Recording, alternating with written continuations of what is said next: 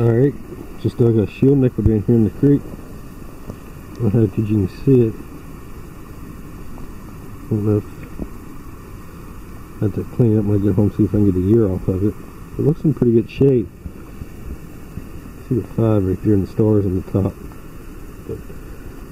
Alright, let's go fine. I'll get back with you in a bit. Alright, been working this bedrock. I walked downstream a little ways and uh, I found a couple pieces of lead and found that thing there. I don't know what that is yet. Weird. Have to bust that cocoon off. It looks like there's a bolt right there. I don't know. Could be a leg off of old stove or something. Not sure though. But uh, had a good signal here down the bedrock. And I don't know if you can see it there. It looks like a carved sinker.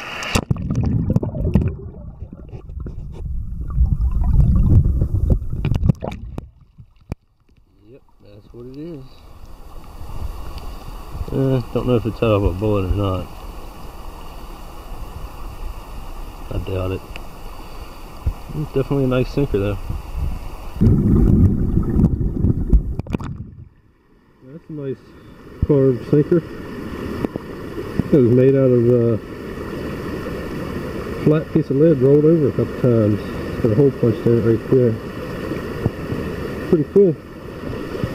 It's like a little spot off the creek here and uh, got a good signal down in there and fired three ringer. I think it's fired. Mm, yeah, you can see the little mark on top. But I don't know if there's pipe.